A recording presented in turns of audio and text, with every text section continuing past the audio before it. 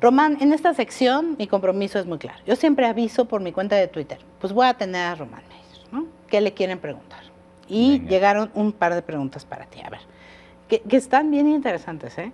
Arturo Guillén te pregunta. Em, ¿Cómo es el trabajo con el Ejecutivo Federal y su gabinete desde la perspectiva de la diferencia de edades? Es interesante, es un reto, porque de alguna forma sí hay un entendimiento de que al ser más joven, de algún modo, a lo ¿No te jovenea nadie del gabinete? A veces ah. dan a entender así como el joven. Pero bueno, uno se tiene que acostumbrar, uno se tiene que adaptar y esas son las reglas del juego.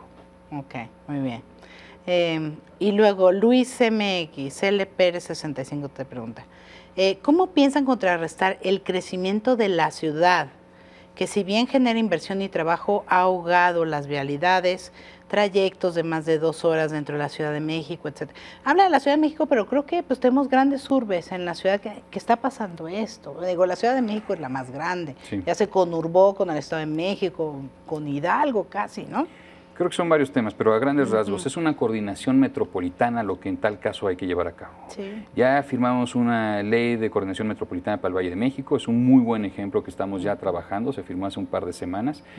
Cómo tenemos que vincular los usos de suelo de la ciudad, de los municipios, cómo tenemos que de alguna forma entender que los municipios, aunque son autónomos, se construyen en un mismo territorio, que los, los programas de desarrollo urbano, los municipales, se tienen que hablar uno con el otro en un entendimiento de coordinación metropolitana y regional. Entonces, la idea central es cómo podemos constituir políticas públicas con la finalidad de que el desarrollo y la coordinación de lo que hace cada orden de gobierno se entienda en un mismo plano. No está fácil. No está fácil. Tienes que negociar con muchas personas, de muchos colores también. Exactamente. Con distintos egos y, perspectivas. Exactamente. Bueno, gracias, Román. No de nada. Esto.